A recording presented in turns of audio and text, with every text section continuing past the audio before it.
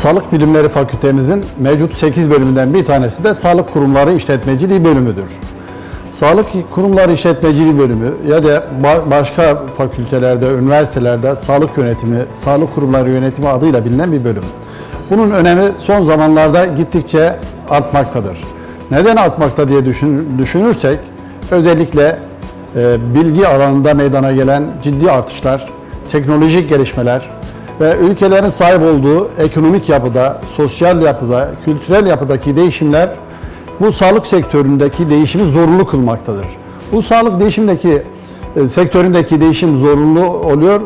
Bu da toplumun sağlık statüsünün yükselmesine katkıda bulunuyor.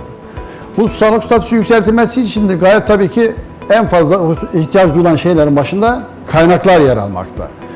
Bu kaynakların e, optimum kullanımı, tam kullanımı, etkin kullanımı önem arz etmekte. Artık toplumlar daha fazla kaynak tahsis etmektense bu kaynakları en iyi şekilde nasıl değerlendirebileceklerini, en etkin bir şekilde nasıl değerlendirebileceklerini e, kullanma e, kararı verme yolunda e, düşünmeye başlamışlardır.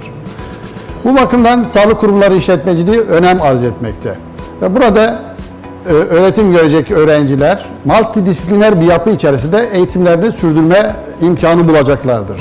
Multidisipliner yapı içerisinde eğitimlerini sürdürürken ekonomiyle ilgili, işletmeyle ilgili, muhasebeyle ilgili, genel hukukla ilgili ve sağlık bilimleri alanında temel bilimlerle ilgili dersler alacaklar.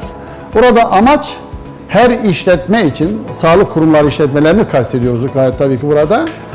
O işletmelerde görev yapabilecek beceriye sahip olan elemanları orta düzey ve üst düzey yöneticileri yetiştirmektir.